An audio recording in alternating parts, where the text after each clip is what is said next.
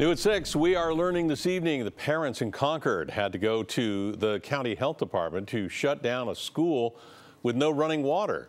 KPIX 5's Emily Turner says they're furious at the district for leaving it open. Emily?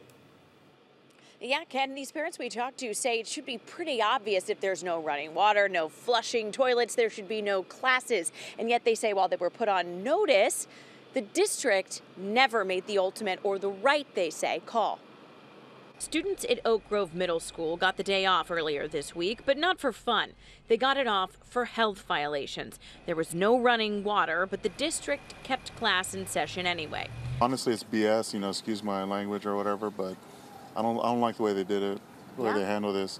Parents like Carlos say it's unacceptable that students had to endure these conditions. We've blurred it for obvious reasons, but you don't need much imagination to know how bad it got in the bathrooms without the ability to flush and a student body of 800. Uh, we found out that the staff reported that they were going off site to use restrooms, but the kids were kind of left to their own devices using the facilities on site without any water.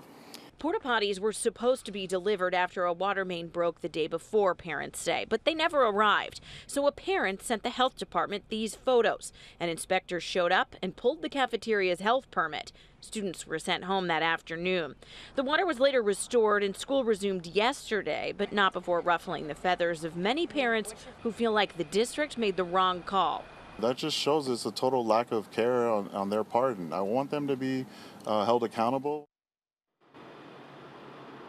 Now, we did reach out uh, to the principal here. She said that the school district, the Mount Diablo Unified School District, was the one handling press statements. However, I can tell you, I called them multiple times, left multiple messages. I have yet to hear back from them. Many parents say they also want to hear from them at their next school board meeting. In the meantime, the school district will be slapped with a bill from the health department. They have to pay the $199 an hour that the health department spent working on this case. Reporting live in Concord, Emily Turner, KPIX 5.